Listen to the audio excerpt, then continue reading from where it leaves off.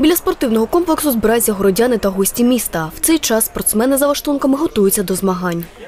Трішки хвилювання, але коли вже заходиш в октагон, вже все пропадає, просто потрібно працювати і все. Це мій 27-й бой по счету, тому нічого обичного. Тобто є чуть переживання, як обично, всі бої. Это спорт. а За рингом мы нормально общаемся. Це спорт. А за рингом ми нормально спілкуємося. Тут немає ніяких ворогів. Це спорт. Як то кажуть, на рингу не буває друзів. Там ми б'ємося. Хто сильніший, той і виграє. Выигрывает. О 18-й годині відкриття змагань. Бійці виходять на сцену, аби привітати публіку. Після гімн України у виконанні української співачки Світлани Тарабарової. Браття, у своїй сторонці, душу й тіло ми положим за нашу свободу. Турнір розпочинають дівчата. 20-річна Тетяна Вознюк з Києва та 18-річна Ганна Біденко з Миколаєва. Вагова категорія 61 кілограм.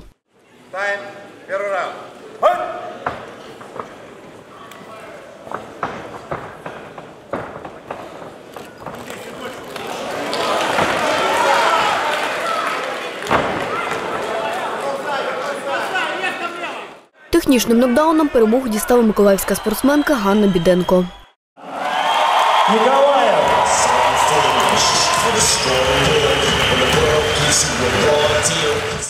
Е, Очень сильна дівчинка. Могла. Дуже сильна дівчинка. Могла виграти мене больовим на руку, але все пішло в мою сторону. Вдалося вибратися з ліктивого важеля. На октагон вийшли Костянтин Шаповалов з Миколаєва та Андрій Вигулярний з Дніпра. Вагова категорія 93 кілограми. Бій чоловіків тривав три раунди.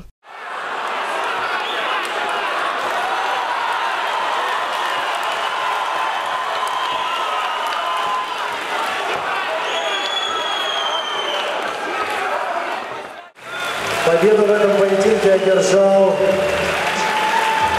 красный угол. Шаповалов Константин. Николаев. Не слышу, Николаев.